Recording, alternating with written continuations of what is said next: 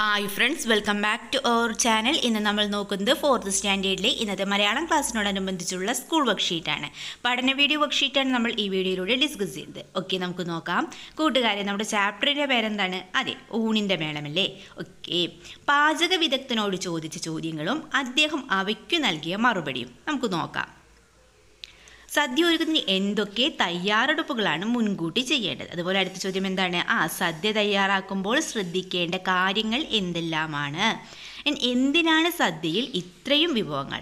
പണ്ടുകാലത്തും ഇന്നും ഒരേ രീതിയിലാണോ സദ്യ തയ്യാറാക്കുന്നത്? എല്ലായിടത്തും ഒരേ രീതിയിലാണോ സദ്യ തയ്യാറാക്കുന്നതും വിളമ്പുന്നതും? ഇതൊക്കെ ഗ്രഹിച്ച് നമ്മൾക്ക് മനസ്സിലാക്കിയത് എന്താണെന്നാണ് ഇവിടെ താഴെ നൽകിയിട്ടുള്ളത്. എന്തൊക്കെയാണ്? ആ സദ്യകൾക്ക് സദ്യക്ക് വലിയ ഒരു മുന്നൊരുക്കം ആവശ്യമാണല്ലേ? അതുപോലെ കൃത്യമായ അളവിൽ ചേരുവകൾ ചേരുമ്പോഴാണ് വിഭവങ്ങൾക്ക് രുചിയുണ്ടാകുന്നത് അതുപോലെ പണ്ട് കാലത്ത് സദ്യയിൽ ഇത്രയും വിഭവങ്ങൾ ഇല്ലായിരുന്നു. കാലം കഴിയുന്തോറും വിഭവങ്ങൾ കൂടിക്കൂടി വന്നു. ഓരോ പ്രദേശത്തെയും സദ്യയുടെ വിഭവങ്ങളും വിളമ്പലും വ്യത്യസ്തമാണ്. പിന്നെയോ ആ സദ്യ എല്ലാത്തരം രുചിമുകളങ്ങളെയും ഉത്തേജിപ്പിക്കും. ഓക്കെ കൂട്ടുകാരി ഇനി നമുക്ക് ഇന്നത്തെ ക്ലാസ്സിനോടനുബന്ധിച്ചുള്ള പ്രവർത്തനങ്ങൾ നോക്കാം. പ്രവർത്തനം ഒന്ന് രുചി കുറിക്കാം. ആഹാരം പാകം ചെയ്തു കഴിക്കുന്ന ഒരേ ഒരു ജീവി മനുഷ്യനാണ്. പല വിഭവങ്ങൾ കൂട്ടിയോജിപ്പിച്ചു കഴിക്കുന്നതും മനുഷ്യൻ തന്നെ. ആഹാര സാധനങ്ങൾ ഇങ്ങനെ പാകപ്പെടുത്തുന്നതിന്റെ പ്രധാന കാരണം രുചിയോടുള്ള താല്പര്യം തന്നെയാണ്.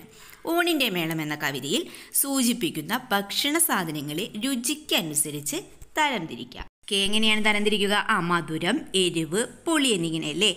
ഓക്കെ നമുക്ക് കവിതയിലെ സൂചിപ്പിച്ചിട്ടുള്ള ഭക്ഷണ സാധനങ്ങളെ രുചിക്കനുസരിച്ച് തരംതിരിച്ചെഴുതിയാലോ?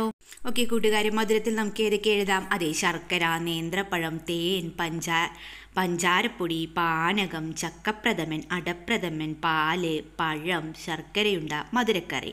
ഇനി എരിവിൽ അതെ ചേനക്കറി ഇഞ്ചിപ്പച്ചടി നാരങ്ങാക്കറി. പുളിയിൽ ഏതൊക്കെ എഴുതാം? ആ പച്ചടി കിച്ചടി നാരങ്ങാക്കറി ഇഞ്ചിപ്പച്ചടി മാങ്ങാപ്പച്ചടി തൈര് മോര് മതിതക്കറി കൂട്ടുകാരും ഇതുപോലെ രുചിക്കനുസരിച്ച് കവിതയിൽ സൂചിപ്പിച്ചിട്ടുള്ള ഭക്ഷണങ്ങളെ തരംതിരിച്ചെഴുതുമല്ലോ. ഓക്കെ ഇത് നമുക്ക് അടുത്ത പ്രവർത്തനം എന്താണെന്ന് നോക്കാം. കെ പ്രവർത്തനം രണ്ട് പട്ടികപ്പെടുത്താം. കവിതയിൽ സൂചിപ്പിക്കുന്ന വിഭവങ്ങളെ താഴെ കൊടുത്ത രീതിയിൽ പട്ടികപ്പെടുത്തുക. വേവിച്ചത് വേവിക്കാത്തത്. ഓക്കെ നമുക്കും ഇതുപോലെ വേവിച്ചെന്ന് വേവിക്കാത്ത രണ്ട് പട്ടിക എഴുതിയാലോ? ഓക്കെ നമുക്ക് വേവിച്ചതിൽ ഏതൊക്കെ എഴുതാം? അതെ ചോറ് പപ്പടം പച്ചടി കിച്ചടി ചേനക്കറി ഉപ്പേരി നാരങ്ങാക്കറി മാങ്ങാ പച്ചടി ഇഞ്ചിപ്പച്ചടി ചേന വറുത്തത് പയർ വറുത്തത് ചക്കപ്രഥമൻ അടപ്രഥമൻ മധുരക്കറി പാൽ. ഇന്ന് വേവിക്കാത്തതല്ലോ അതെ നെയ്യ് നേന്ത്രപ്പഴം തേൻ പഞ്ചാരപ്പൊടി തൈര് മോര് പഴം. ഓക്കെ കൂട്ടുകാരി കൂട്ടുകാരും ഇതുപോലെ തരം തിരിച്ചെഴുതുമല്ലോ. ഓക്കെ then നമുക്ക് അടുത്ത പ്രവർത്തനം എന്താണെന്ന് നോക്കിയാലോ?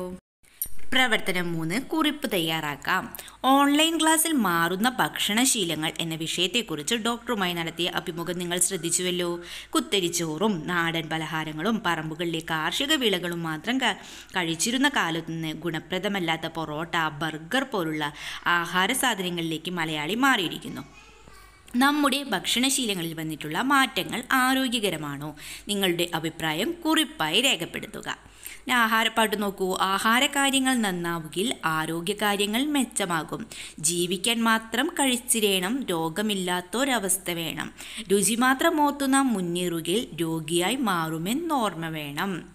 ഓക്കെ കൂട്ടുകാരെ നമുക്ക് കുറിപ്പ് തയ്യാറാക്കിയാലോ? ഓക്കെ ആദ്യം നമുക്ക് നമ്മുടെ സ്വന്തം അഭിപ്രായം എഴുതാം. നമ്മുടെ ഭക്ഷണശീലങ്ങളിൽ വന്ന മാറ്റങ്ങൾ ആരോഗ്യകരമല്ല എന്നതാണ് എന്റെ അഭിപ്രായം. കൂട്ടുകാരുടെ അഭിപ്രായം എന്താണോ അത് കൂട്ടുകാർക്ക് എഴുതാവുന്നതാണ്. ഓക്കെ ഇതിനെ എഴുതാം.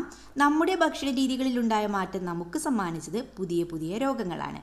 ചെറിയ കുട്ടികൾ മുതൽ വയസ്സായ ആളുകൾക്ക് വരെ ഇന്ന് ജീവിതശൈലി രോഗങ്ങൾക്ക് അടിമപ്പെട്ടുകൊണ്ടിരിക്കുകയാണ്.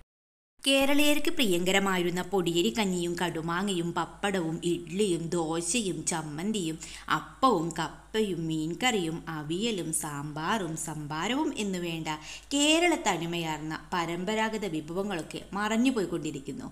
പകരം biryani fried rice chilli chicken ginger chicken തുടങ്ങിയ നിരവധി വിഭവങ്ങൾ കേരളത്തിലെ കുഗ്രാമത്തിൽ വരെ സുലഭമായി കൊണ്ടിരിക്കുന്നു മാറിവന്ന ഈ ഭക്ഷണ രീതി കൊച്ചുകുട്ടികളെ വല്ലാതെ സ്വാധീനിച്ചു കഴിഞ്ഞു. എന്റെ കൊച്ചിന് ന്യൂഡിൽസ് മാത്രം മതിയെന്ന് പറയുന്ന അമ്മയുടെ ധാരണ ഞങ്ങൾ ഒരു പടി കൂടി ഉയർന്നു എന്നാണ്. ചോറും ചപ്പാത്തിയും സ്കൂളിൽ കൊണ്ടുപോകുവാൻ കുട്ടികൾക്ക് നാണക്കേടാണ്. അവർക്ക് സാൻഡ്വിച്ച് തന്നെ വേണം. ഇല്ലെങ്കിൽ തന്റെ സ്റ്റാറ്റസിന് കുറച്ചിലാണ്. കേരളീയരുടെ ഭക്ഷണ രീതി മാറ്റിമറിക്കുന്നതിൽ ദൃശ്യശ്രാവ്യ മാധ്യമങ്ങൾ നല്ല പങ്കു വഹിച്ചിട്ടുണ്ട്. ഭക്ഷണത്തിന് കേരളത്തിലുള്ള വ്യാവസായിക സാധ്യതകൾ കണ്ടറിഞ്ഞ് ആരംഭിച്ച ഫുഡ് ഇൻഡസ്ട്രീസ് അവരുടെ ഉൽപ്പന്നങ്ങൾ പ്രചരിപ്പിക്കുവാൻ മാധ്യമങ്ങളെ ഉപയോഗിക്കുന്നു. റേഡിയോയിലും ദിനപത്രങ്ങളിലും ടി വിയിലും എത്രമാത്രം പരസ്യങ്ങളാണ് നാം കാണുകയും കേൾക്കുകയും ചെയ്യുന്നത്? നഴ്സറിയിൽ പോകുന്ന കുട്ടിക്ക് പോലും ടി വിയിൽ കണ്ട ന്യൂഡിൽസും ടൊമാറ്റോ സോസും തന്നെ വേണം. ടി വിയിൽ കണ്ട കുട്ടിയെപ്പോലെ താനും വളരണമെങ്കിൽ ന്യൂഡിൽസ് തന്നെ കഴിക്കണമെന്ന് കുട്ടി ധരിക്കുന്നു. മനം മയക്കുന്ന പരസ്യങ്ങൾ അത്ര കണ്ട് കുഞ്ഞുങ്ങളെ സ്വാധീനിക്കുന്നു. നമ്മുടെ ഭക്ഷണ രീതി ആരോഗ്യത്തിന് കനത്ത ആഘാതമാണ് സൃഷ്ടിക്കുന്നത്. നമ്മുടെ പാരമ്പര്യ ഭക്ഷണം പോഷണങ്ങളുടെ കലവറയാണ്. കേരള വിഭവം അപരിഷ്കൃതവും ഫാസ്റ്റ് ഫുഡ് പരിഷ്കൃതവുമാണെന്ന മിഥ്യാധാരണ മാറ്റി പോഷകങ്ങൾ അടങ്ങിയ പാരമ്പര്യ ഭക്ഷണങ്ങളിലേക്ക് നമുക്ക് മടങ്ങി വരാം.